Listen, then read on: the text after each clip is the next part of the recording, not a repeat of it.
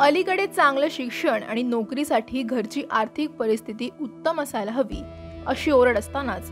दुसरीकडे मात्र वाशिम जिल्ह्यातील कारंजामधील एका हमालाच्या मुलानं मर्चंट नेव्हीमधील महत्त्वाच्या पदाला गवसणी घातली आहे.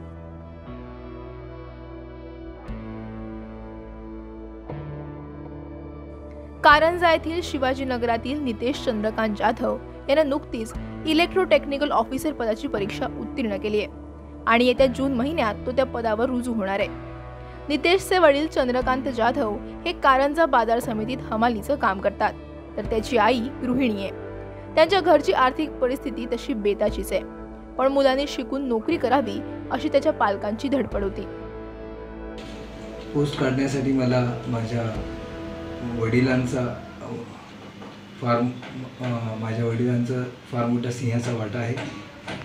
माझे वडील हे कृषी उत्पन्न बाजार समितीमध्ये हमाली करतात.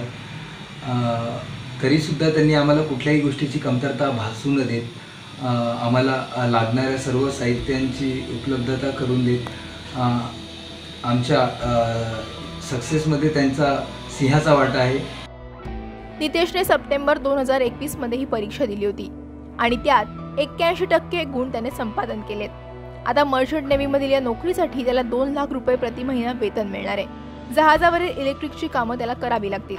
यासाठी त्याला कोणतंही मार्गदर्शन लाभलेलं नाहीये. त्याने इंटरनेटलाच मार्गदर्शन मानून शिक्षण ते नोकरी असा प्रवास पूर्ण केलाय.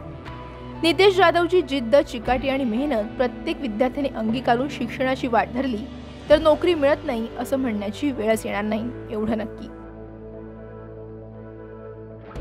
Maharashtra Times online Washim.